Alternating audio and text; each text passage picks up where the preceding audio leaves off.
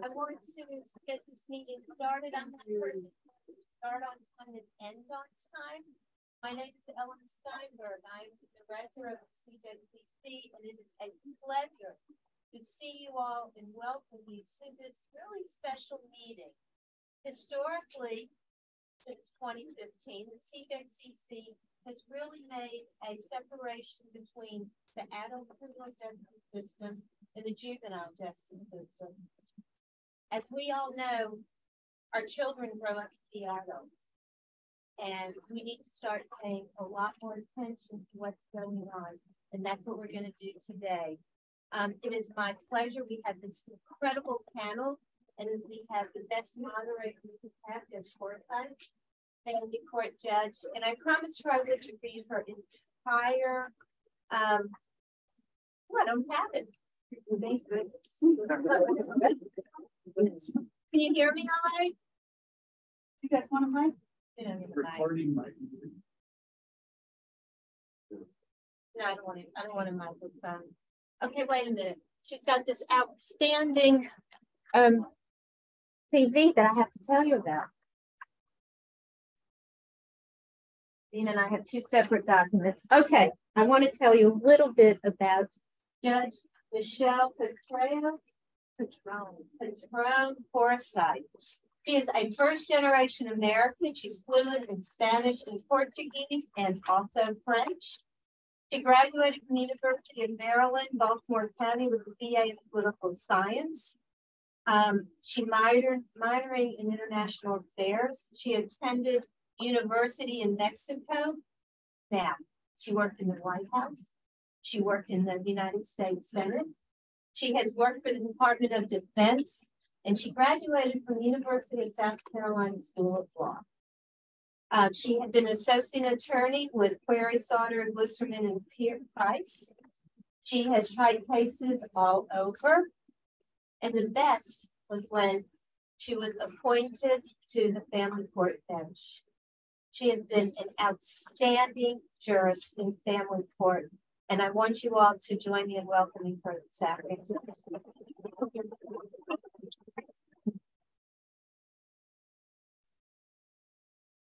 Do you all want me to use the microphone or no? Whatever you all want. Um, most of the attorneys here know that I don't have any problem speaking loudly. My name is Michelle Patrão Forsythe. Um, I'm so happy that you all are here today. Most everybody here I know. Um, everybody on this panel I know, so I'm pretty excited. Um, and also, we're talking about an issue that I'm very passionate about. And ironically, um, as the good doctor and I were just discussing, it's, you know, juvenile justice issues are rarely mentioned. Uh, but more and more, there's a discussion about juvenile justice issues, and we've been having this discussion for a long time. So I feel like I'm talking to people that already know uh, that it's important. But what I think you can take away from today is that there is a team and this team continues to grow and expand. So this is a big deal. Um, and I want to talk a little bit about who's on our panel. Um, but I'm first going to explain a little bit about um, why we have a juvenile justice system. So in the late 1800s, uh, it became clear to people that um, youth were not getting the same treatment um, or appropriate treatment. Um, and in actually Chicago, the first family court was created to deal with juvenile justice issues. Courts are different all over the country. In South Carolina, the family court deals with juvenile justice issues as well as all other issues surrounding a child or a family including adoption, child support, you name it. It's not like that in the rest of the country. Some judges simply do juvenile justice all day. The courtroom is devoted entirely to it. They control their budget, they control the clerks, they control everything, including the dockets. Um, and the, by docket, I mean the number of cases or, or a calendar. That doesn't happen here. It's a little bit of a different system, but um, the family court in South Carolina was consolidated in 1977. Before that, juvenile justice issues were handled by county judges. And those county judges sometimes were considered magistrates. Um, they would handle those matters. Once we consolidated the system, the family court then had jurisdiction over juveniles. Now, how old of a juvenile? Well, up until um, a couple of years ago, I think it's a couple of years ago now, maybe three now, as time has, has moved on, it was 17 and younger well, maybe 16, just depended, right, Sean? Um, and now we are dealing with 17 year olds um, who commit crimes. Uh, just a few years ago, you were charged with armed robbery and you were 17. Tammy, what would happen? You were charged as an adult. And so, whatever trauma you had, you're sitting in high school, you get arrested, whatever trauma you had, whatever was going on at home, nobody cared. Nobody was interested. Nobody was looking. Uh, and that became an issue, and the state sort of met that challenge and changed the law. There was a little bit of a hiccup there. There was a delay because funding was going to be an issue, and funding definitely became an issue. And um, the Department of Juvenile Justice, very lucky to have representative, has met that challenge too and is trying to take on that burden. Because as you can imagine, suddenly the family court, uh, criminal defense attorneys, but more importantly, uh, public defenders were trying to navigate a whole different world of crime. We're no longer talking about kids stealing cars or shoplifting. We're we're in a whole new world. Um, so at any rate, the system is designed to adjudicate delinquents. That's what we're that's what we were trained with. That's probably not where we're going to end up talking about juveniles, but we were trained to deal with delinquency uh, and then provide services and, and get children through or navigate them through the system, treating them like children, even though sometimes the crimes that they commit are very, very adult. So let's talk a little bit about who's up here on our um, lovely panel, and it's not going to be in order, so everybody raise their hands. I'm going to start with um, Aesperita Pinckney who is the Community Resource Coordinator for the Juvenile Detention Facility here in Charleston County, and my um, new best friend. uh, Radia Baxter, who's the Director of Programs and Education at the Sheriff's Office. Uh, Mr. Keith Smalls, who's my Community Keeper Mentor Group and is doing work within schools in Charleston County and in the community. I always get your last name wrong, um, Todd Swans, Swansinger, who is with Father to Father. And you may think that Father to Father is just doing uh, program, come sit this way. it's just doing the program for fathers, but no, they're actually doing other work. Um, and he'll talk a little bit about what they're doing. We also have Stacey Bryant, our state coordinator with the Department of Juvenile Justice, who I was supposed to see last week, but I was in the middle of a trial. and she is in charge of the new JDAI program, which is the Juvenile Detention to Alternatives Initiative. This has been a program that the uh, Department of Juvenile Justice has really been working hard to kind of get up and off the ground. And boy, as soon as Stacey came on board, it is flying. I mean, it's moving. So this is all good stuff. Um, we also have McKendrick Dunn, who is here with Low Country Youth, and ReZsaun Lewis. Tell me how I say it. ReZsaun. ReZsaun. Okay. I'm a big, I'm a big name pronouncer. Um, and so, and ReZsaun, you're the executive director, and then McKendrick, you're the program director, correct? Okay, great. So first I'm gonna um, ask some questions of um, Ms. Pinckney. And uh, Ms. Pinckney, I want you to tell us a little bit about, first of all, we have a new jail. Yes. And um, I don't know how many of you, how many of you knew we had a new jail? How many of you have ever seen the old jail? How many of, who knows when the old jail was built? Jeremy? 1964. yeah. So there uh, came a time where um, that jail is, boy, something else, something special. Uh, there came a time where uh, children could no longer be housed at the jail. Tell us a little bit about how they came into this new building and, and a little bit about what you're doing. Um, the new building, hi again, Aesperita Pinckney. Um, the new building, um, like you said, there was a lot going on in the old building. I remember going into the old building. It was just, it was really not good loving conditions for the children. Um, we do currently have like a new facility. Um, and if anybody would like to see the new facility, you can just reach out to me and I'll be glad to get with people and we can do a lovely tour of the new facility. Um, I'm currently the community service coordinator. And as a community service coordinator, I go uh, a lot of times with the children when they attend court hearings. Um, I meet a lot and talk a lot with the solicitors in regards to some of the children that are at the facility, kind of giving them an update. I meet a lot also with parents, um, engaging them on what's going on inside the facility.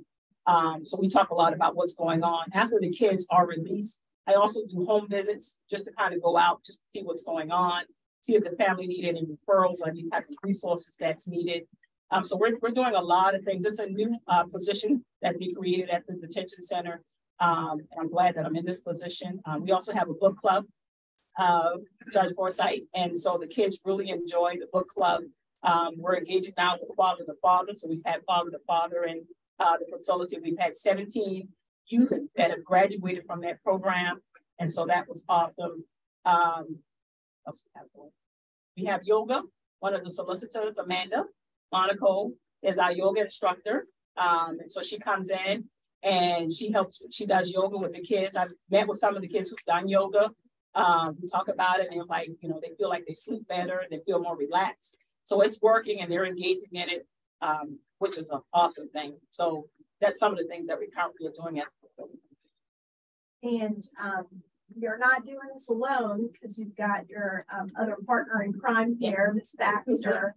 And Ms. Baxter, um, and I'm just going to Radia, um, you're doing things with the adults, but also on the juvenile side. Talk a little bit about when you came in, you came in with um, Sheriff Graziano, um, and what was the idea? What was the intent? So the intent was to uh, make sure that we provide programming opportunities and educational opportunities to uplift our juveniles so they won't come back, so they won't continue to commit crimes.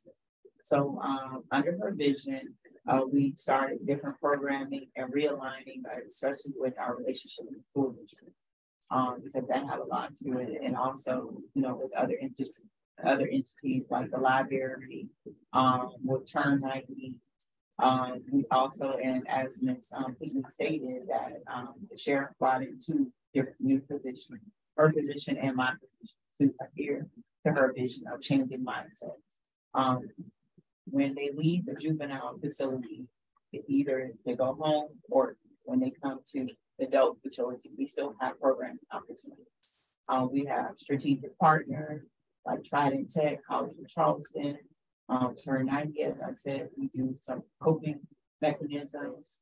Um, we do career readiness um, program and some other, but our main thing is, is we're doing some cognitive behavior there because we know that if we focus on their brain and changing their mindset, then we know that they're not coming And we're trying to get them to trust themselves so that they won't Now, um, anybody have any questions?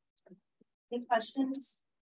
One of the interesting things is a transition when a juvenile who's been sitting in detention for a pretty serious charge um, has been sitting there in the juvenile facility and then has to transition over to the adult facility. When does that happen and what does that look like? If you both can talk about that, please. So uh, when they turn 18, the moment that they turn 18, then they transition over to the uh, adult jail. So 1201, they're sitting in intake and processing. Um, that usually goes for about a couple of hours. And then from there, there are um, a housing and then, of course, there's some assessments that are done to determine what housing unit they need to be in and what area, you know, based on the classification. Um, what we try to is we try to see, especially if they are they're still in school, because you can be uh, 18 and still in school also. So we try to make sure that we see you know, whether they are in high school and how, how far along they are. If not, we do have a rigorous uh, GED program. Um, I, I, I take um, we, this was our first time ever of graduating high school students from the detention center under um, Chair Crossing. Um, so that we're we're maintaining that. Um, we have a couple of GED graduates, and then once we do that, then we um, transition them into our try to program, which they will um, actually have our first cohort will be graduating. I think to be in there, so and so we're trying to to build upon, we still have a ways to go. We have other partnerships that we would like to yeah. And this Pinckney, we have um, library now, a pretty extensive library, and there's some other programming at the juvenile detention facility for kids under 18. What does that look like now as opposed to when you first started? Um, when I first started, I think that it was just an idea of, of them not um, having no, or not having a person to kind of facilitate those programs. And so now we're at a point where we're able to kind of do that. We're now having where some of the kids who are 16 are interested in getting their driver's permit. So now we're in collaboration and we're going to start where they can now do their pre-test at the facility.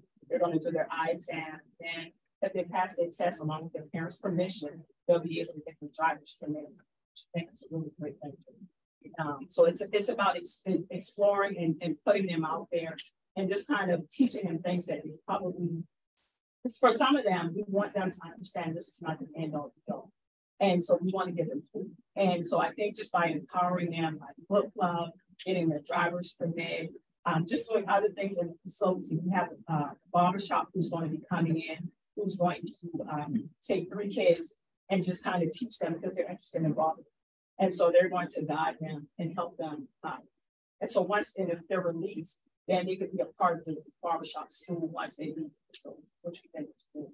And so what me and Radia do when we get to that point of them turning 18, we kind of talk about, hey, this is this kid and all the things that this kid has done, doing, and then gives her a better understanding. So when the transition does happen, they understand this is what's going on. So they kind of me and her, Ms. Johnson, and they understand this is what what's about to happen. Now we also have a new member of the team um, that deals with the mental health issues, correct?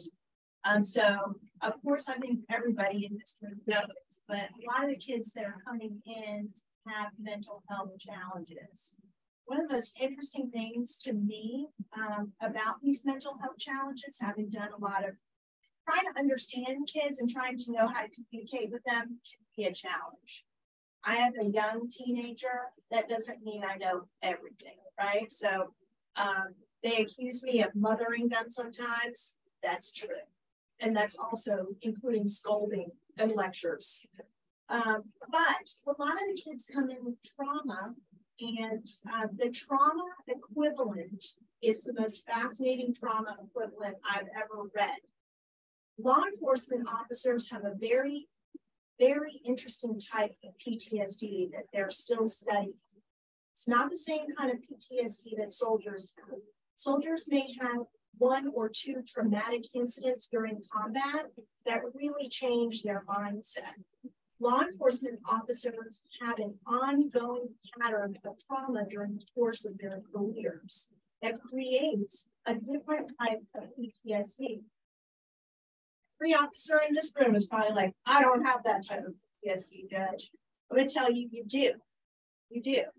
But what's interesting is, is a lot of the kids walking into that jail have the same kind of PTSD levels you all have. You're adults, so you're managing it on a very different scale. What I have learned, these juveniles don't know how to manage some of the things that they're seeing.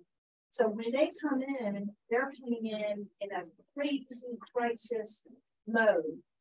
What happens when they get in the door? Uh, when they get in the door, they're assessed through intake. Uh, once intakes assess them based on information that's gathered at that time. Um, they there are cases where we have to make mental health referrals. Um, so we make those mental health referrals within a time frame, mental health within 24 hours, they come over.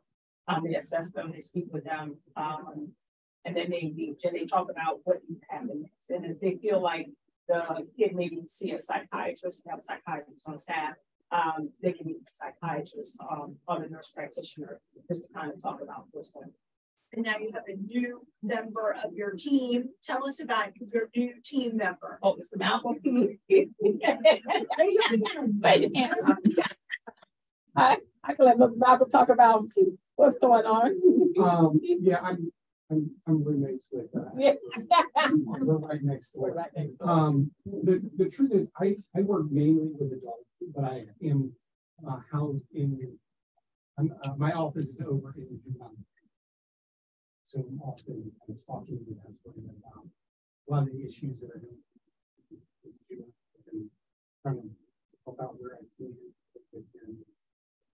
And I foresee, having spoken to the sheriff a little bit about this, is that more and more, um, there's going to be more of a mental health component on the interior side uh, to deal with some of the issues that um, it's bringing into uh, the detention facility.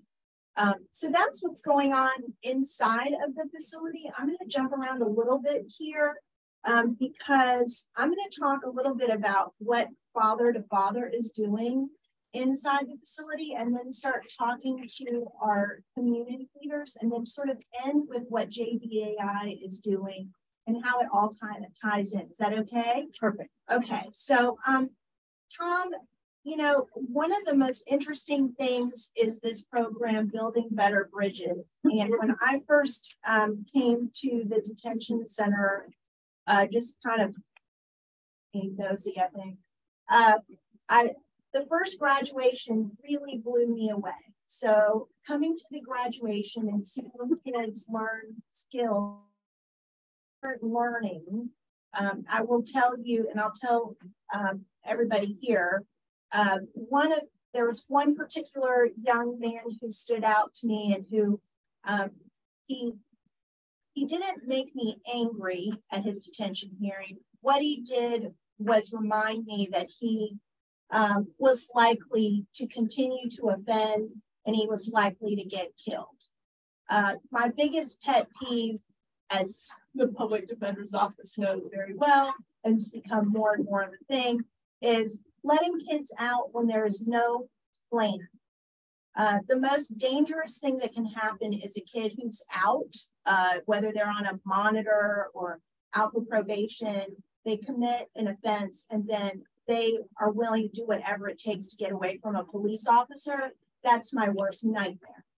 And um, so when they're combative in certain ways, when they commit certain crimes, they're just not they're just not coming out of detention. It's just too much of a, a risk to the community.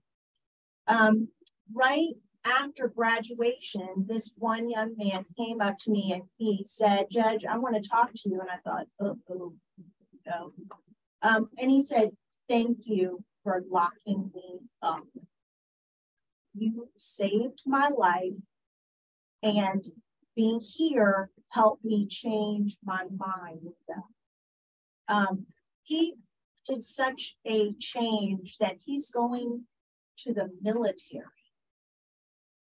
Uh, it was shocking. First of all, we thought, oh, I don't know that you can get into the military, young man. Your record is not the best. Um, but we started doing some work and everybody's kind of come together. Locking him up was not what saved his life. What saved his life was programming, including father to father. So can you tell us a little bit about building better bridges? Sure. So um, Ms. Pinckney and I, we came up with the idea of building uh, building better bridges, the program that we've been doing in conjunction with DJJ.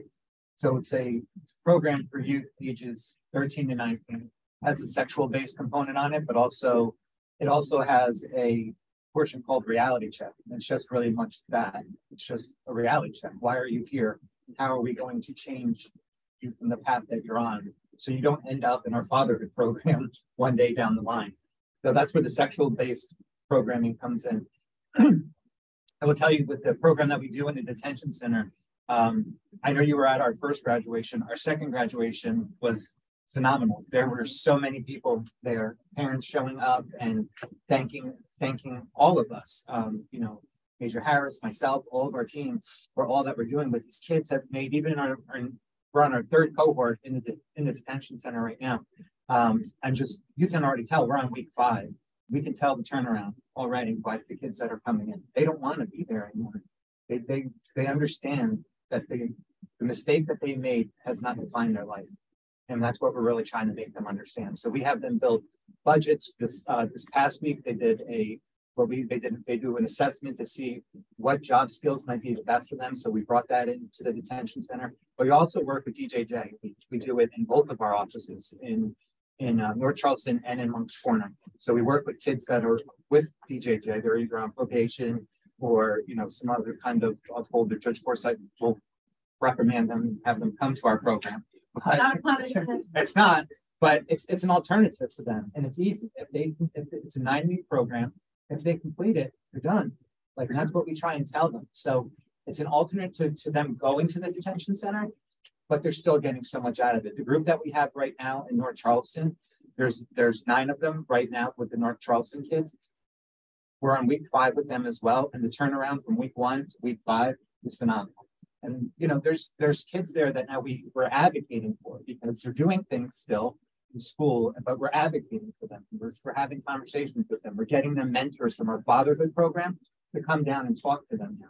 So these are all great things that we're able to do inside and outside of the detention center. So, and it, it's combining all those things. It's, it's taking the father to father isn't just working on fathers and absenteeism with children. We're trying to break the cycle starting at the kids.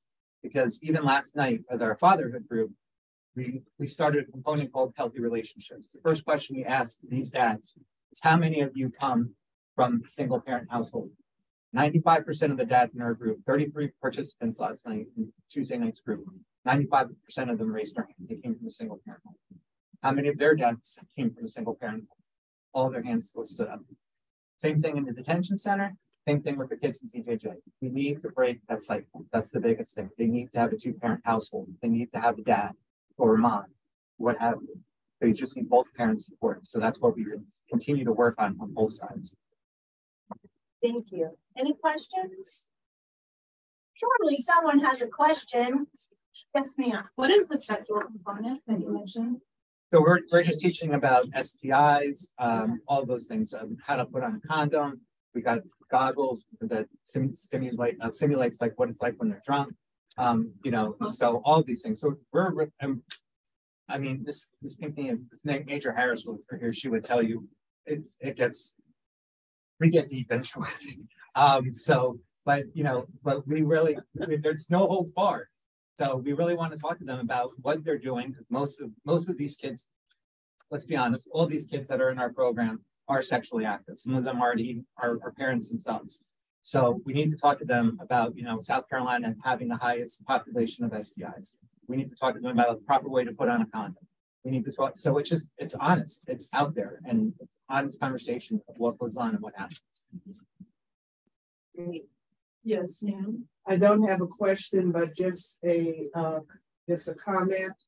Um, my concern is that uh, young people or even adults um, beyond age 18 that have mental challenges are put in um, jail with everybody else. And I don't know whether the legislators or who would fund a um, a building where you would be able, if, if someone you know commits an offense, yes, they come to a facility and, you know, there are consequences, but we know that they're not um, operating at the same level as some other people. So there should be a team of people working with, um, you know, these young people so that they don't, you know, uh, find themselves in situations that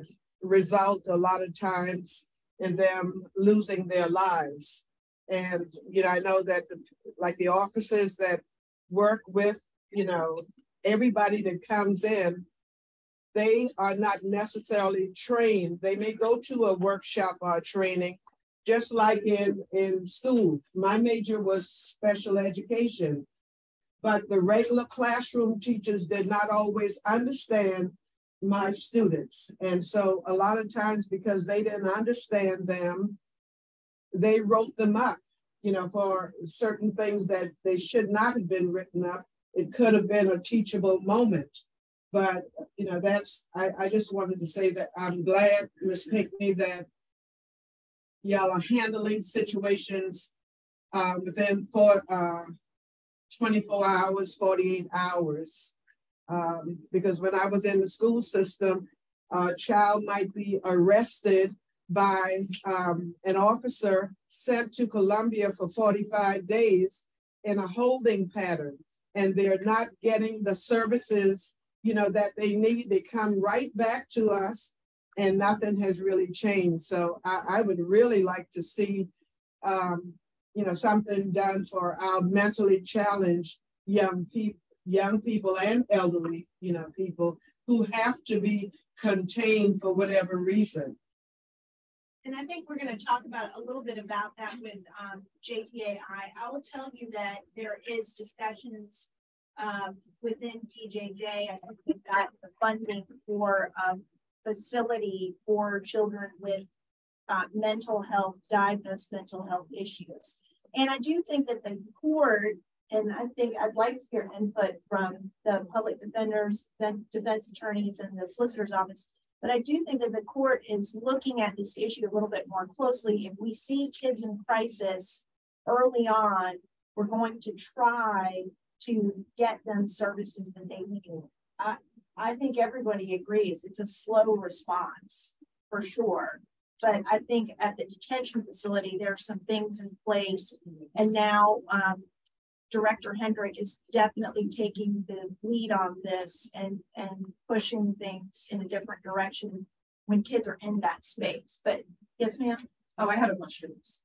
Um, it was about something from a bit earlier. Somebody had mentioned the cognitive behavioral therapy, and I was just wondering, like, with the mental health services in general, like, who is providing that? Like, is it you know is it someone that's employed like you know with you all? Is it like an outside kind of agency? Because in my experience, I mean, I don't deal with juveniles, but like jails across the state, you know, especially the count like you know, well, so jails, but they just the mental health like is all over the place. Like some of them just don't have it, you know, or it's like spotty. Like sometimes they'll have someone and then sometimes they won't for like long periods of time. So I'm just wondering like who is actually like providing this and like where is the funding coming from? Because it's just a big problem, you know, across the state. Um, like I said, I don't work with juveniles, but at least for adults, like I see that all the time. So I'm just kind of wondering. In the world of juveniles, you know, our our mission is to get treatment what they need. So the solicitor's office and the criminal defense bar is going to work together because it's a triage moment okay? They've gotten arrested um, clearly, and even at that first step, and if the law enforcement officers want to step up and, and make any commentary, even at the first step, there's an opportunity to send them with a parent. You know, they're not necessarily going to arrest and detain right away. So there's a lot of discretion there. And there's also some talk statewide about what that is going to start looking like in the future. But a lot of training for law enforcement officers, as I've been told, as I learned a couple months ago, um, is really focused on, is this a person we're going to detain or not? And, you know, they're running through calls, they're, they're busy. So they're not going to want to mess with a kid, usually. Um, but the minute they're in this system, this system is supposed to be designed to getting them the services they need. What we haven't had a focus on, I think everybody can agree, and I really want to start talking to the community partners, um, is, is mental health. What is it that these kids have been exposed to? A lot of times kids have been shot. The judges don't know. You know, we're not aware because that fact has not been pointed out to us and we're not minders. So a kid's been shot, he's sitting in detention, he's got the medical treatment he needs. Maybe he's getting the mental health treatment now. Uh, I would say five years ago, no. So I just wanted to respond to her question a little bit. So we have strategic partnerships that we currently have. Um, I know Adita, um, Ms. Roberts back here with the Department of Mental Health. So we have them. We also have turning turn. It used to be turn ninety, um, our turning point. Now it's turn ninety, and then we're also um garnering a relationship with MUSC to do the practitioner side of cognitive behavior. We're still working through those alliances there. So we're building, just remember before, um, and we also have Mr. Malcolm here, as I stated before, but before our, um, uh, before Graziano, I think it was just kind of basically the, the bare minimum. And so we're working collectively as a group. And then I also wanted to respond to, um, I know under the sheriff's uh, initiative, uh, we've been trained, but some of our staff is being, mental health is being incorporated in our training. So that way that can add to that. Not saying that it's hundred percent or, but we're working towards those kind of issues. And statewide too, um, the Department of Juvenile Justice has implemented a new program that is using a outside source to do uh, multi-systemic therapy for kids and family focused therapy as well. So there's a, a new push, and this is fairly new. This is new um, information. It's an ongoing change. It's an ongoing focus um, and trying to kind of look at that from a different perspective. Is it successful all the time? Does it, is it 100%? No, but I mean, it's better than it was five years ago. Um, and speaking of what I think is better than it was five years ago is community partnerships. Um, so let me start with um, Mr. Smalls, who's with My Community's Keeper Mentor Group. If you can tell us what you do, and then I'll move down the line here. Well, uh, definitely state that not only My Community's Keeper sitting here um, as uh, one of the steering committee members, the child turning to attention um, working that uh, some of our members are here in steering committee, been here way longer than me. So can you hear me back to Yeah. yeah some, some about, a, can everybody hear? If not, I'll give them the microphone. I think you should get the microphone. Okay. I'll speak low. Um, you just gotta switch. There's a switch on there. Yeah. Um, yeah, can you hear me better? Yeah. Yeah, so when I, I, say it not only as a founder and executive director of my community's keeper mentor group, but I also on the steering committee with Charleston ATD, which is the alternatives attention. And I maybe, you know, there be some questions on some more conversations around that. Um, but I also work in MUSC in the hospital violence intervention program to combat gun violence, where I deal with individuals in the hospital space who have been victims of gun violence and been trained through the Harvey Healthy Alliance of Violence Intervention around trauma informed care but at my community keeper mentor group, we are our, our organization. I founded and I'm the executive director. And we, you know, I think our two signature programs are the programs that, you know, everybody have been raving about and talking about. The boys will be boys and the girls world, where we deal with a lot of high risk youth who have been referrals from not only DJJ, but yeah, youth advocacy program, and then also what we consider graduating from MUSC's Hospital Violence Intervention Program. So you're dealing with kids who have uh, been victims of gun violence and they've been um, in DJJ and, and identifying family court and adjudicated. And some of them, most of them have been uh, unlawful carrying of firearm charges. I think over 85% of, of our enrolled participants have either been victims of gun violence or have that charge unlawful carrying of firearm.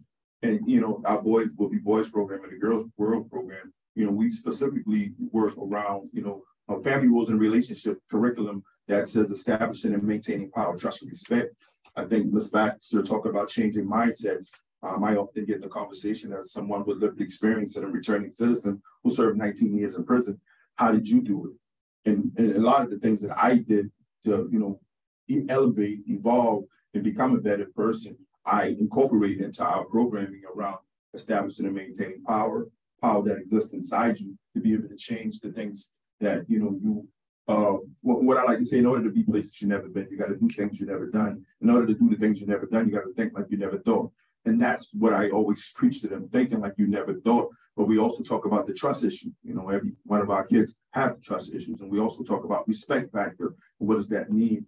And um, we have, uh, you know, this social mapping, this what we call my communities keep a mental group steps to success, where you come to our boys and our girls program and we have a vision board and we're incorporating in March this new element to our program surrounded by Advance Peace. Um, some of you may uh, be more familiar with the cure violence model, which is something that's more, uh, I think, more known to the East Coast, but the West Coast is where we get Advance Peace, where we're being incentivizing um, uh, allowances to steps to success and community mobilization activities, social and intervention mappings, where we have critical thinking that's being taught by a professor from the College of Charleston, who's on our board, Dr. Baker, who is a, professor of psychology and ethics. And we also have uh, uh, cognitive behavioral therapy being taught by uh, one of our clinicians. I've been blessed on my journey, not only with the CJCC, but throughout the community that really come in contact with amazing people who want to volunteer, who want to provide services like cognitive behavioral therapy, social emotional learning. We have a partnership with ACC, which is Stuart Williams, who has a youth entrepreneurship camp in the detention center. And we do youth entrepreneurship um, with our juveniles, with our youth. In the community, we also do financial literacy. So we do a, a whole lot of things. I, I believe in the ecosystem, building an ecosystem around these kids. Um, you know, and giving them those touch points, uh, the continuing of care, I think uh, we learning more and more about credible messengers and mentors and how that uh, the importance of getting people who are credible to these individuals. Again, you know, myself, um, in a sense, I am like the consummate model doing 19 years in prison, losing a son to gun violence. I was a juvenile, I was in foster care. So a lot of the similar things that these kids been through, I've been through, so they can relate. And um, most of my staff, I won't say all of them, a lot of my staff have are individuals who have that lived experience, returning citizens, but I also have uh, fellow teachers on my staff, as well as professors and other individuals who have volunteered from out the community. But my community is keeping mental group, we're new kids on the block, um, you know, but I, you know, I'm very high on, you know, uh, the potential for us to be able to move the needle in the community around these youths and their family. Uh, we also have family roles and relationships and other uh, apprenticeship programs that we call uh, economic opportunity where we have barber and cosmetology. We have the HVAC school as well that does apprenticeship with us as well. And um, so, you know, we're just delighted to be in the number and be available to these youth in these communities, but also to DJJ and um, the detention center as well. And the schools, we have programs in five different schools. So with the book club at Meeting Street Burns, uh, Greg Mathis Charter High School, where we're teaching character development, uh, resume writing, interviewing techniques, you know, we're the gamut. Um, I, I learned about nonprofit and community work in New York at a 15 year old in a community center. Um, this is not something that just happened when my son was murdered. Things that we worked on in prison, where we designed programs in the prison around mentorship and working with at-risk youth. So, you know, just again, delighted for my community keep a group to be available for uh, these services that we provide. Um, what, have you been able to work with DJJ directly? What is a good way for them to be able to contact you or say a criminal defense attorney who thinks that maybe their client would be a good fit so they can pitch the program to the court? As someone who was inside once I just crazy trying to joke, you would see um, phone numbers of attorneys um, sitting, you know, by the phone booth. Uh, and I think my number is someplace on the desk. I often get referrals from probation officers, from the solicitor, um, you know, Dorchester, Charleston, and Berkeley County. I'm also a juvenile arbitrator with the solicitor's office. So a lot of my referrals come through that space. Um, you know, uh, we do have an open enrollment process, but you know, when it comes to referring those juveniles from DJJ, whether Charleston, Dorchester, Berkeley County, you know, we're just always me. I, it's hard for me to say no. So um, I don't turn them around, but most of those do come through a simple referral from either solicitor's office or one of the probation officers or, or someone of that like. and, um, ReZsaun and Kendrick, tell us a little bit about your programming too. There's a lot, so I don't think I can. Well, Yeah, so I'll start with, so I'm the McKendrick Dunn, uh, Program Director for Distinguished Gentlemen's Club. So Low Country Youth Services has several different programs underneath. Um, Distinguished Gentlemen's Club is one of the oldest. Uh, we've been doing this work since about two thousand and eight. Uh, I've been part of the organization since two thousand and ten. Um, I'll let ReZsaun talk about kind of the umbrella of other programs, but for the, for the uh, Distinguished Gentlemen's Club, we service kids eight to eighteen. Um, and we focus primarily on three pillars, and that's leadership, college and career readiness, and healthy relationships. So we build all of our lessons and activities around those three things. Um, we have about 19 mentors that support us. All of the young men in the program is separated by grade level. So we have age appropriate content depending on what it is that the mentors are teaching each month uh, that we give to the young men in the organization. We typically follow the school calendar. So we'll kick off in August and start lessons in September. We meet every single month, at least twice a month. Uh, we are heavily involved in the community uh, throughout the Tri-County. So we do community service projects every month. We don't want a negative stigma with community service. We want the kids to serve the community in which they live and work. Um, and we do that every month. We get phone calls from organizations and businesses all the time about bringing your young man out to support an event, uh, whether it's escorting kids at a Dream Girls conference or a community cleanup, which we own Railroad Avenue out in Hanahan to make sure that that's clean, uh, or going to Dorchester Paws and working with the, the animal shelter. I mean, or Miracle League helping out, uh, doing things there. Low Country Food Bank, literally, we are all over the place. And a lot of times these community service projects, you'd be amazed you would think that on a Saturday morning at nine o'clock that these kids have something else to do. In December, we took close to 70 people to Low Country Food Bank and packed out Christmas boxes for uh, the less fortunate. So kids are looking for something to do. They're, they're looking for things to be engaged in. And I think we've done a pretty good job of kind of creating um, the right energy within our organization that they want to be involved uh, they're connecting with kids all over the, the, the Tri-County. So a lot of times they're seeing kids that they would not ever see at any other time at our club meetings. So we have time set aside just for them to socialize with each other because we understand how big networking is. You know, whether you're in the you know fifth grade or the 12th grade, you're meeting people that you do not see at any other time uh, throughout the month. And this is something that happens every single month. Our parents are involved. They assist with uh, preparing meals for our kids. And while they're in session, we also bring in some speakers that will talk to the parents about, you know, financial literacy or or any other topic, you know, that they have given us that they want to hear speakers come in to talk about. So we try to engage not only with the kids, but with the parents as well. Um, and we run until the end of the year. The big thing for us at the end of the year is our award ceremony. We recognize the kids for the kids for the amount of community service hours that they give, um, that they uh, contribute every year uh, for the amount of uh, lessons or um, um, monthly attendance that they come to uh, to the program. And we also give like um, character awards uh, at the award ceremony. We have hundreds of people that come every single year. Um, and you know, we've serviced hundreds of kids over the year, and now we recently introduced in-school programming. Now we're almost starting to double that number every year.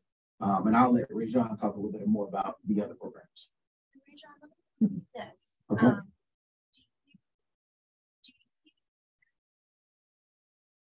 all the Work that you do to the courtroom space, or do you ever think, I really need to talk to somebody about this kid who I know has gotten in trouble and is doing all this stuff in the community? What does that look like and have you ever done it? So that's a multi-pronged question. Yes. All right. I'm I'm, I'm gonna get there. Um, so I, I'll start, I'll start there and I'll work my way backwards. Is that okay? So, um, there's been a lot of talk today about, you know, the kids that have already run afoul of the law, right? Because that's the, the premise from which we're meeting today. But the truth is that the vast majority of our children have not yet gotten in trouble. And I say yet because we all, everybody in this room has probably been in some sort of trouble in your life. When you made the mistake that you made in your life, how that was treated by the adults in your life largely dictated the way you responded to it, I imagine, in a lot of cases. If you were stigmatized and told that that made you a bad kid, if you were stigmatized and told that you're unfavorable, yeah, you're gonna fall, fall sick farther down that hole. What our organization does is we create what we call the village. And what the village is, you know, the old proverb, it takes a village to raise a child. That village is there before you get in trouble. That village is there when you get in trouble. That village is there after you get. So to your question, I have had to go speak at um, expulsion hearings. I have been consulted by parents about um, situations where kids weren't doing what they're supposed to do. But every time that thing happens, I never look at that child through the lens of the trouble they got in. Why? Because I had a relationship with them before. Um, and I see myself, I see my brother, um, I see my brothers and my sisters. Um, so with that being said, the village that we create is through our programming. Ken talked about um, one of our programs. We actually have five mentoring programs and a summer camp that we run every single year. Um, and we serve between four and 600 young people annually. That's both in community and in school. So our community-based programming, Ken already mentioned a lot about, so I'm not going to go too far into that, but I do want to mention that he talking about community service. A lot of times when kids think about community service, it's a punishment. Well, you got in trouble, so you, we're going to have you go out here and clean up uh, along the side of the street. Or you're going to go over here and you're going to sweep up Miss Mabel's yard because you got in trouble. No, my kids volunteer to it. They literally have an 18 hour community service requirement for our community based program. That's both male and female programs. Between those two programs, we have about 110 kids. So on any given Saturday, you can see us at a local food bank where he mentioned December, January, we went right back to low country food bank. We went we back over a thousand boxes. And those kids loved every second of it. They loved that as much as they would if we would have went to Frankie's Fun Park. Believe it or not. Nobody's in there complaining. Nobody's on their phone. Nobody's arguing back. And so because we built that, when a kid does run afoul of the law and I need to talk to that kid, I don't get pushed back. I've been with the organization since 2016. I've seen one fight. Sorry, never seen one. Heard one fight. Heard of one fight since 2016. That's seven years. Why? Because the village. So in addition to our community-based programming, um, which I will come back to in a second, um, our in-school programs. So we have our um, Young Men Rise and Girls on the Rise in-school mentoring program, which is currently in 13 schools between Berkeley, Dorchester, and Charleston County school districts. We have formalized partnerships with the schools, formal MOUs, to come into the schools and use evidence-based curriculum to talk to these kids about things that they need to be talking about right now. Yes, ma'am. So evidence-based means that there is accredited organization that creates a, um, a set of standardized curriculum, which is rigorous, like you think about like a, a school curriculum, that we go into the schools and we use as a guide for our discussions, right? And we're talking about things like overcoming obstacles. We're talking about dealing with bullies. We're talking about finding a positive network within your school. We're talking about what's the difference between a mentor, a role model, and a hero. And are all of those things positive? If you have a negative hero, you have a negative role model, if you have a negative, right, mentor, that's the one I was thinking, right? We're having these discussions. And so we go into the school and for 10 weeks, they give us between 15 and 20 kids. We work with those kids for 10 weeks. And after the 10 weeks, the relationship doesn't end there. Because when they complete that and they graduate, they actually move into our community-based programs that they can stay with until they graduate from high school. And then once they graduate from high school, the hope is they come back as mentors. So the next thing that we started developing um, was how do we make sure that for our young people who graduate and don't necessarily go straight to college, how do we build the infrastructure for them? For them? This next piece that we're doing now is building an internship opportunity. So the summer camp program. So we have a summer camp program. It's a three-week program, both boys and girls. It's for middle school age students, sixth to eighth grade. Because there's a lot of opportunity for elementary school students. There's not a lot for middle school. For high for our high school kids, we actually hire them as paid interns to work with the kids over the course of the summer. They're learning job skills. They're learning how to how to supervise. They're learning how to project their voice and communicate effectively with people that, that they're working with. They learn how to work as a team. And for our kids that have graduated high school already, we're actually building in an internship program for those kids to come back and work with us throughout the year. That's how you build a village. He mentioned um, the parents. So many times we try to build programming without dealing with the real. Come on, y'all. Anybody in education? Just me? All right, cool. One of the biggest issues we had is when you have a child that lacks accountability, you often have a parent that lacks accountability. And so what we do with our parents is not talk down and condescend to them and tell them why they should be better parents. No. We build a village where it's okay to come in and say, hey, I don't know this. Can you show me? Hey, I don't understand this. Can you show me? So each of the curriculum pieces that he talked about that we talked to our parents, those are all things that they told us in the beginning of the, at the beginning of the club year. We want to learn about this. We want to learn about first home, first time home buyer program. We want to hear about financial literacy. We want to learn about if my child needs an IEP in school or, or 504 plan, how do I get that installed? And we bring those people in to speak to our parents. So we don't have a parent issue either. I'm not saying that to say that we're perfect. I'm saying that to say that if we're intentional, a lot of the kids that we're here talking about that are running afoul of the law, we can save before they do. Before they hit the prison, we can save them. Before they break into our cars, into our homes, before they get caught, we can save them. Before they before they steal a car or murder someone, we can save them. But we've got to be intentional. There was a question last point. There was a question I was asked about the mental health piece, and I think that's so key. Because a lot of times we start having mental health discussions about our kids after, again, after they've already gotten in trouble. We had a lot of people in this room today, and I'm sure each of you have your own individual influence.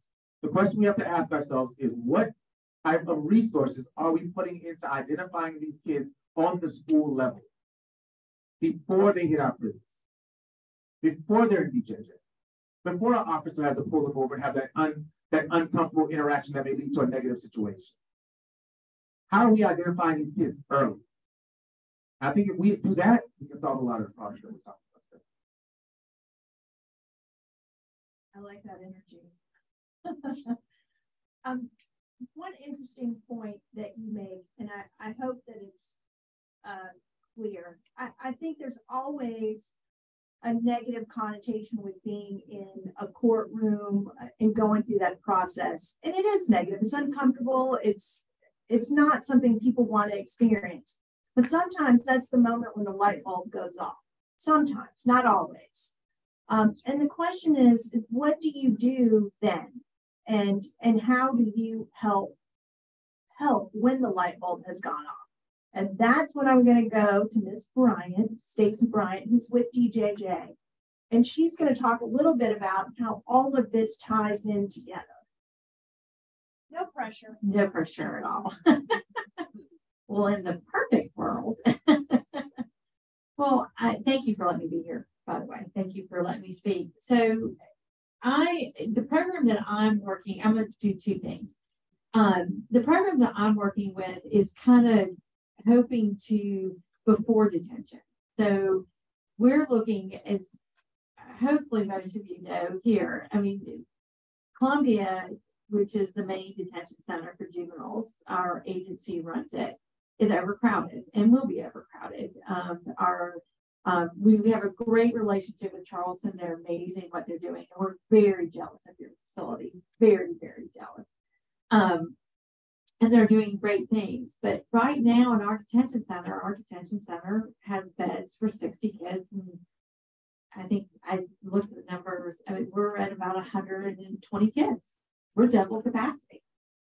So, um, and, and when we say that, there are kids that need to be in detention. We are not that, we're taking those kids off the, the, the table right now. Some kids who've done major crimes. And when we looked at this, I found this out uh, at our meeting. Um, right now at the detention center, 40 of those kids are there for murder. So they need to stay in detention until they go through their detoxing. Um, they need to be in detention. But we have kids in detention for truancy. We have kids for pickup orders. We have kids for stolen vehicles. We have kids for, you know, um, you know, a hundred other reasons. And so that's what JDAI is. JDAI is going to be a program where the child is still going to be arrested. The child is still going to have a detention hearing in 48 hours, but they don't need to be sent to a detention center because what people, one thing we want everybody to understand too is because we have 100 and, you know, 100, between 115, 120 kids there, we can't separate. We can only separate by age.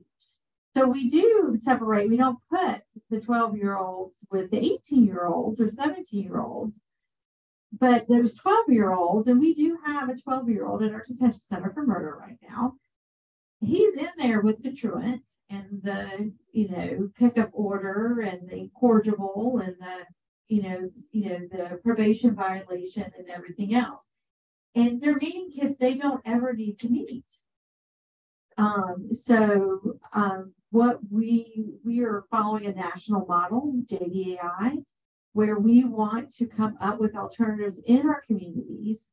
So when the police officers can't find a parent, you know, or parent is at work and can't leave work, or the parent is just frustrated and said, I, I no, I'm not. We're going to teach them a lesson. Parents don't want to teach them a lesson. Go lock them up for two days. I don't know if that's something we need to be teaching the kids, um, but where else can we put them besides in a locked facility? So that's the program that we're developing. And that most of the people here on this table are helping us develop that because we want JDAI to be community driven. Um, that's the national model. We go on eight core strategies, and our number two priorities is community safety, and will the kids show up for court? And if they meet those two criteria, we should come up with alternatives for those kids if they can't go home. Another, and so most of the people at this table and other people, we're we want to talk to everybody. Um, what do we, what where do they go? And it, sometimes it will be we're going to need beds, 24 hour bed. We're going to need um, one stop, you know, shops where you know it's because we want, you know, we know the trials and tribulations of the police force have to because they have to get back on the road. They're not here to babysit. They're not, you know, when they pick up a kid and the kid's, you know, uh, being difficult, well, where's the best place to put them? And so that's what we're doing. I've given everybody a, you know, a folder and a handout. If you haven't got one, I'll get you one. Um, but it goes over the eight core strategies of JDAI. These are our models of what we're looking at when we're coming up with um, these alternatives um, for these kids, getting them services like the gentleman at the end. Um, you know, a good portion of these kids, they're detained, but they're diverted because they, you know, not all kids that are detained are actually going to be charged. That and, so, and their life is completely upheaved because because they've been now they can't go back to school because the school district has rules on detention kids that go into detention. So it really has a snowball effect on these kids. So we want them to stay, keep their daily routine, but keep the community safe and make sure the kid shows up court that 48 hours to determine do they qualify for a diversion program, which we want to do more of those diversion programs, which these gentlemen are doing, and most of the people at this table are doing, those are amazing. They have huge success rates, and we want to make sure that the right kids are going to those type of programs. Um, and then, um, or do they do need a community evaluation so we can decide what to, you know, for the judges to make a, a better decision of what's best for that um, child, um, you know, that type of thing. And then some of them are dismissed. I mean, the, the solicitor's office will say we don't have enough to charge them. Um, so there's a lot of things going in. That's why we really want, um, you know, we're real excited about this program because it will alleviate some of that. Not only the overcrowding, um, and that will have a ripple effect. With we work very closely with the Charleston people and their detention center because their overflow comes to Columbia they can't hold a status offense, which is um, a charge that an adult cannot be um, arrested for. It's the runaways, the um, incorrigible, the truancy. They by statute can't, they can't hold them. They all have to get in a car for two hours into Columbia, and then two late two hour two days later they have to be brought back down to Charleston to have a hearing. And if it's continuing to go back, and that's police officers on the road not being able to protect their communities. You know, so that's what we're really trying to make um, to do with this program. And we're really excited. Our community members are fantastic. Um, and we're this will eventually in about three years will be statewide. We are piloting here in Charleston and, and Aiken right now. So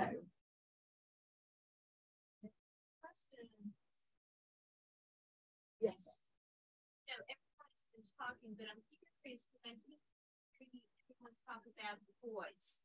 Um, how many of your programs are include the girls? we, I mean, DJJ, we have, I mean, we have lots of girls. We have, you know, we do programming for girls. So, I mean, I, I always prefer them as kids. So, um, but, but you're right. We don't have, I mean, we don't have as many girls as we do have boys. So that's probably why.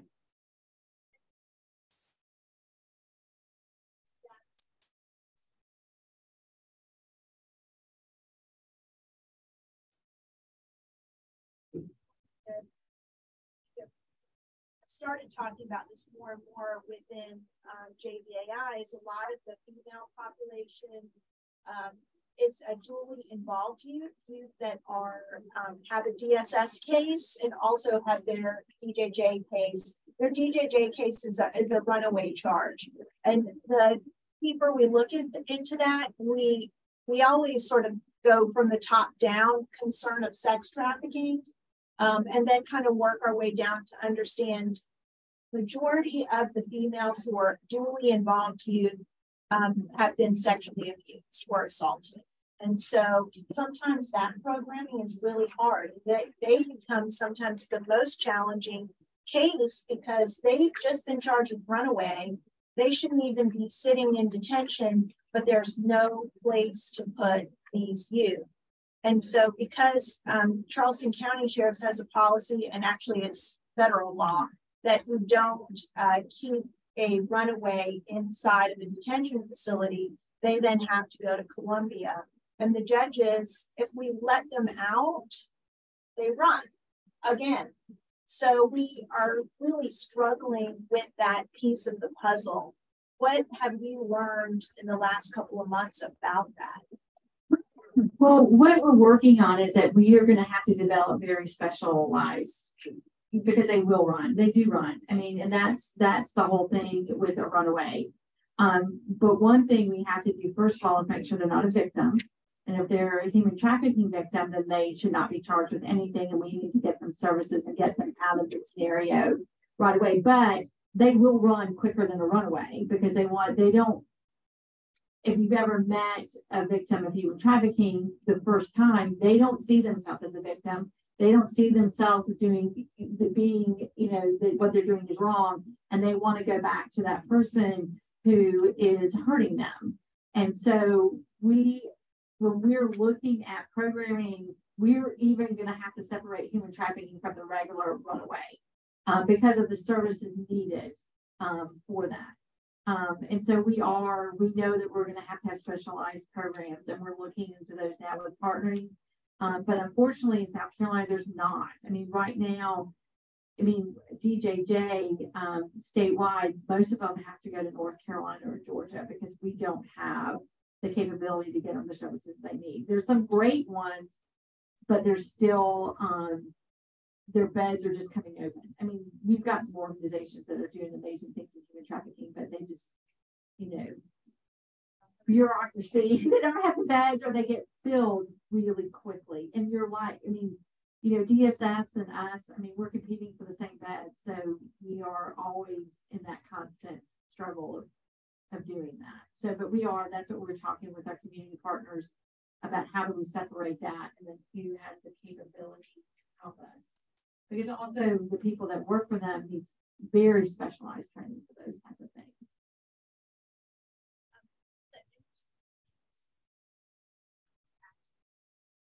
I was just gonna add that in the mentor like what I was talking about earlier, so we started out as a program that primarily with boys in middle school um. But um, as we build capacity, one of the things we're very intentional about was adding the female equivalent to the boys program because there is such a great need. Um, there are many, like what we found with, with um, for boys, they create mentoring programs, and for women, they have workshops. So there's a lot of like women's empowerment, like conferences and workshops that happen. You don't find a lot of those for boys, conversely, which is very interesting. But um, that, but so we have been intentional about making sure that we have created those um female equivalents. It's still in the early stages. Our our, our girl program, like we serve um our, our boys program community based has 80 kids in it, 80 boys in it. Our girls program has about 15 to 20 girls in it, just because it's- it's brand new and people getting used to that part of it. Our in-school program, we're in 13 schools with our boys. We only have, we just got our fourth and fifth school for the girls. So as that's expanding, I'm sure, you know, and I heard Keith mention as well, his, his programming with young ladies as well. So that's definitely coming. It's just that it wasn't, for some reason, it wasn't put in the forefront. But with the discussions that are being had centered around human trafficking and um, just the way society is right now, we really do need to grab our young ladies early and really have some, some really worthwhile discussions to help them um, to sort of uh, navigate this world that, currently exists. Yeah, and, and if I can just say about our, our girl grow program, we have at least twenty-five young girls signed up to that. We have eight young girl mentors who are amazing. We have junior mentors who are amazing, and most of them are credible messengers who have been trained either through YAP, uh, MUSC, but we also did a training with CPD um, around mentorship, and it is extensive mentorship. Where we do therapeutic circles, we talk about creating a pod and creating safe spaces for these young girls, and similar to our boys program, establishing and maintaining power, trust, and respect for the girls, is establishing maintaining love, trust, and respect, and talking about the true definition of love, what love looks like. And um, I, I had one of my young ladies here as part of the mentor. They can explain better about that process, but you know, I, I same way thought when we do with the boys, why not the girls? I mean, we do have girls in our program who have ankle monitors on, who have been victims of gun violence. Um, we have a young lady who was pregnant and she was shot in a drive-by shooting on King Street, and she gave birth to her baby in MUSC, and she's in our girls program. In fact, she's going to try to take an adult literacy program that we have a sense of collaboration with with them. So um, it, it just equally as important with the boys as it is the girls that they get that continuing care that you get from mentorship. Uh, Questions? Yes? Yes, sir. Ms. Bryant, you have eight core strategies. One of them is data-driven decision making. Um, could you elaborate on that? Yeah, and that's one of our, yes, thank you for bringing that up. Um, I was just thinking about that. Everything we, JDAI is data driven. It's all the numbers. Um, so we recently, um, pulled all the detention numbers from two thousand eighteen before COVID to last year for detention about kids.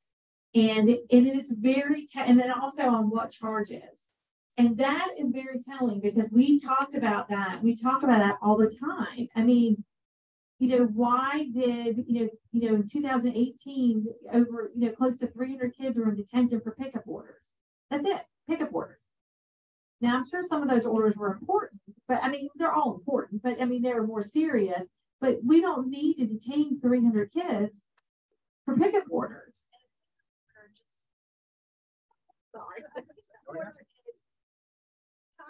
Is under an order, whether it's a detention order, so they've been released and they have to follow certain uh, guidelines, or they're out on a probation order. If they violate that, um, then DJJ can file an affidavit and provide an order, and a judge can sign it. Then there's just the question of scheduling that hearing. While in the interim, they're just sitting there in detention. And, and that is an interesting statistic. And there's also the, there's also a regional component to this. Some regions do it more than others. Uh, there's also a regional component to uh, truancy and children going into uh, Columbia, going to Columbia and sitting there for a truancy charge. Um, so I'll let you talk a little bit about those interesting numbers because that that led to a lot of discussion from the judges. It did, and it, it and and so that's why data is so important because until we really, I mean, most people we don't look at this every day. We don't, and so also our agencies taking this very you know seriously that we are actually have detention expediters. We've hired two staff members that weekly they look at detention numbers to see to make sure we're not letting kids fall through the crack that their intention that they are and this is brand new we've only started this this year where they are looking to say okay why has this kid who, I'm just gonna give an example, um, who's waiting a disposition following an already, you know, a, you know, an evaluation. Why are they sitting in detention? Why is it taking so long for them? Because we know from that evaluation that they're probably not going to be RC, that they're either going to go home on probation or they're going to, or we're going to get other services in place. But why have they been sitting here now two months? So we have to, so that's why data is so important because until you really delve really deep into the data, um, and we know from this current data we got that we have more questions. We're going deeper. you know, we're going real deep into it because people look at it and they go, oh, wait, wait, well, what about this? And so we're looking at it because it's going to help not only help the child, it's going to help the judges and the public defenders and the solicitors make better decisions on what services we really need to get for these kids. Ms. Bryant, you said that, sorry, you just said that the custody order were issued on three hundred juveniles. And Judge Forsythe, you said that for one of three, one, they're violating the terms of probation ordered by the court. So DJJ themselves are issuing the custody order, or they are, we're unable to get them into court for whatever reason, and a custody order has been reissued, either because law enforcement needs to pick them up or they won't attend court. But there's a reason for those custody. There is, but there's processes that like internally, we're looking at internally. I mean, we know that as, as a state agency that maybe we're doing some stuff wrong and we need to correct it. We're not putting this on the judges, but we all have to look at this. And it's also our internal way of looking at things that we need to do better as a state agency to help these kids. It's why kids are, it's when they're sitting for long periods of time that you know, those internal mechanisms don't necessarily click.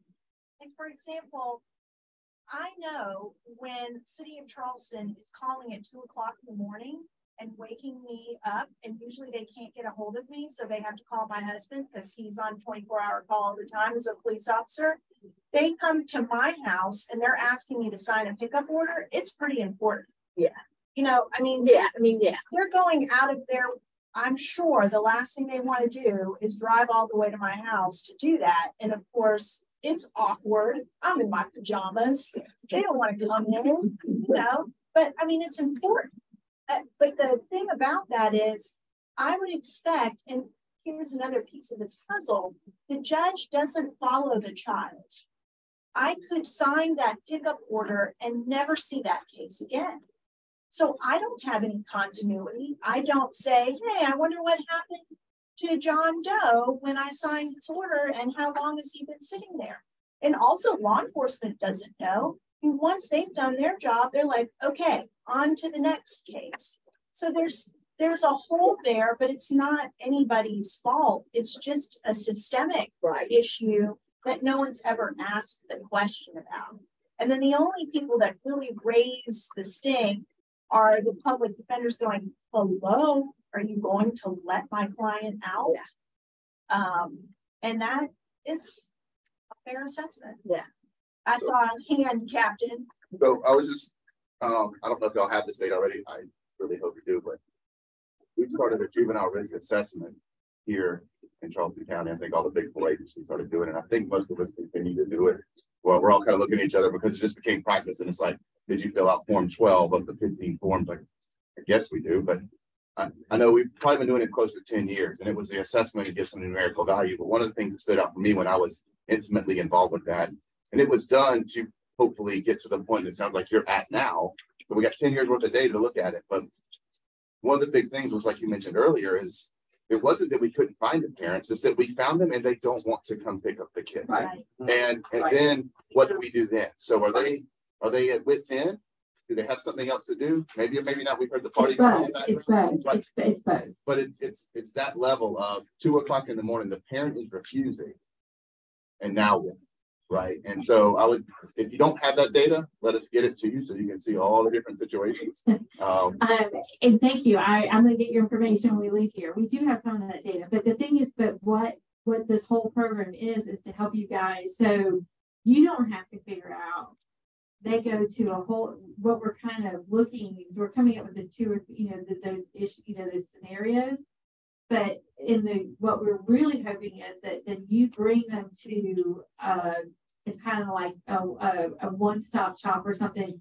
And then we figure out, is it a DSS issue? Do we have to get DSS involved? Do we have to um, find somewhere there for a bed tonight for them to be until we can do everything so you can get back on the road and do what you have to do so you're not having to figure out and see our agency, we do have, you know, we have a detention screening tool that every police officer should be doing. We know you guys. So it's, you know, we know it doesn't happen. We know sometimes it happens. Um, you know, that type of thing to kind of figure out, well, yes, this is definitely detained, this isn't, this needs to go. But but when a kid is refused, because that that happens a lot, everybody that happens a lot, and the parents are saying, I'm not doing it. I'm not coming to get them. I'm done. I mean, you know, I just, you know, I've got three other kids. I mean, or I can't get off work. I'm gonna lose my job. You know, so yes, I would love to see that data because it just helps us when we're coming. Mean, because data also helps with funding. As I said, we're not asking for any new state funding for any of our programs. When we alleviate the overcrowding, that money that we spend there is what's going to fund us. That's the good news. Not just ask a good question. I was sort of kind of chuckling, but there are so many risk assessment tools. Right. And the most hysterical part of it is the court doesn't know any of those numbers. So if you have a risk assessment tool, I will never know about it. Uh, when the jail uses their risk assessment tool, I will never know. DJJ has a risk assessment tool. Every once in a while, just for fun, I'll ask them, what does this number mean? They never discuss what those numbers are and how they came up with it. They don't discuss a risk assessment tool. So there's a million risk assessment tools out there and no uh, no consensus. Yes, sir.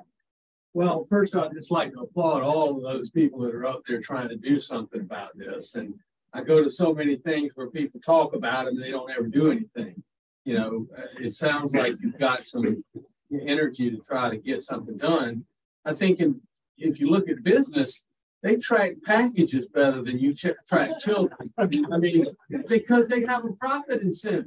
Yeah. And when that package goes on the truck, they know where it is. And you can look in real time. So if a judge really cares, the judge should be able to go to a dashboard right. and say, I signed that warrant. I want to know how long that child's been incarcerated. And if they shouldn't be incarcerated, they need to have a loudmouth like me go stand in the lobby and jack up some of the legislators and say we need the funds to get this done because these are people, not packages. And they're much more important and we treat them cavalierly. And we just got to be thankful to God that we've got Kendrick and ReZsaun and Tom and, and Keith and all of you up there. And thank God that you're looking at the numbers. But if you're looking at the numbers and you don't have a dashboard for the people like judges and influential people who could get changes made, what's going to change? Nothing. Because we don't put this on the ballot in November. The, the public certainly doesn't know this is a problem. Nobody knows that there's a thousand foster children in Columbia. My friend's chairman of the Salvation Army. You got a thousand foster kids, nowhere to go. And you got parents, as the officer just said, hey, we ain't coming to get them. We don't, we're tired of them. You know, my job's finished. I did what I could. And it's just, it's really exasperating to think that there are this many kids floundering around. You know, I went and jumped in the deep end of the pool one time when my parents were doing the music program at a Lutheran camp. And I was drowned. And I just, you know, I went and jumped in, Mr. Big Shot, I'm going to swim. And I was bouncing off the top, coming and waving my hands. It took about five minutes for the lifeguard to come drag me out. And these kids are waving their hands. They're trying and they don't have what they need. And so we need to know better where they are in the process and if somebody's slipping through. And I'm sorry, I'm so no, and you're, you're so correct. And the good news is if we do this correctly, because we're we're the 40th state to bring JDAI on. And the states that are doing it correctly, they've gotten their numbers down. Like um, we were out in Portland, they had eight kids in detention eight. Hawaii closed all of their detention centers. They do everything in the community, except, I mean, you know, except the murder. I mean, well, Hawaii even lets the murderers. I mean, the kids. I mean, but there's maybe five. I mean, Hawaii doesn't really have that. You know, they have an issue, but not like like they don't have forty. Like we have forty kids right now waiting. Can I Um, just say I'm from Hawaii oh yeah, and they're doing amazing work. they are doing amazing work. So pay attention. Yes, yes. No, they are. I mean, so so that's what's going to help because if we do it correctly, we set it up correctly. I mean, we're fast tracking this, but as I said, we're starting two and then three counties. So three, you know, because we want to be like those model states like Kentucky and some other ones that have only like 10 or 15 kids in detention because the community, because then they have services in place because our kids need the services. And that's what all of these people here are doing. This is why it all ties in. I mean, there's even the Charleston Detention Center, the services that they're doing, we don't do those in Columbia. They are, these are amazing things that these ladies are doing. Um, and so, and then our community leaders here. I mean, um, so that's what's gonna save the kids. But just to further, further that point, I mean, what the captain said, a lot of it is parents. I mean, Judge Forsythe will, will, you know, she, she will tell them, okay, you need to go to Father to Father, you need to go to the Building Better Bridges program. I'll call the mom or the dad. They're like, oh, well, we'll call my child. I'm Like, well, no, you need to bring your child here. We're even willing to provide transportation. We'll pick them up. We'll call mom, we'll call the child, we go knock on the door, no one's there. So then I, so then I have to contact their, their PO, let them know, and we're, we're going back and forth with the POs, but, but even the, the parents need to start to take responsibility. Because whether or not they've given up or what have you at that point, a lot of them that have been ordered to go to building better bridges, just like ReZsaun said, it, it starts with parents. So when you call the house and the parents are like, I'm not really sure if he wants to go, I'm like, uh, he doesn't have a choice. Like, she doesn't have a choice. She ordered it, like they, you have to come. But they're just kind of like, well, It's a, it- it is a fine line and I know, gotta finish up, but, um, a great, ex- I've got a great example of a young man who, from the time he was thirteen on, I took jurisdiction and it wasn't a happy ending for him. And he ended up, um, spending a lot of time in juvenile detention and then ultimately, I think he's still incarcerated. Um, during the course of that time, his father was murdered. Um, although he had a DSS case and for a period of time, I actually gave, I gave dad custody.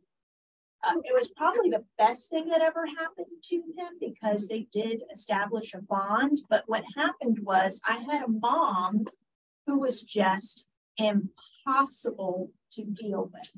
And there were several moments in time where I came close to putting her in jail for contempt.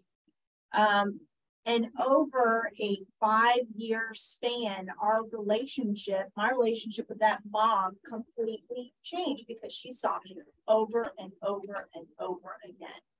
And she also um, started to use me as a resource to say, well, there's another thing going on, and you should know that this is happening. But in the beginning, she did not want to take responsibility. She did not want to take ownership. And that was really hard for a family court judge to hear. Now we have limited jurisdiction in what we can do. You know, I would love to order her to do things, but at that point in time, I didn't have that ability. Um, parents need to get involved. And the more programming that focuses on parental involvement and getting parents to the table is great. I'm a big believer in it. If you look at the South Carolina statute, the first part of the children's code talks about promoting strong marriages and strong families. That's our object here. And yes, what family looks like is changing and it's different, but at the end of the day, like I've heard just about everybody here say, parents need mom, mom and dad need to be there as parents for their kids. No matter what has happened, they need to be there. That's what we're hoping to do. They need to forget that it's about, they need to forget it's about, it's not about their individual self, it's about the child. that they're with. Right. there's no question that we can keep going. Those of you who want to stay, I don't know who on the panel can continue, but if you give out your contact information, I think there's a number of people here who would like to, you know, follow up here. Judge Forsythe, thank you so much.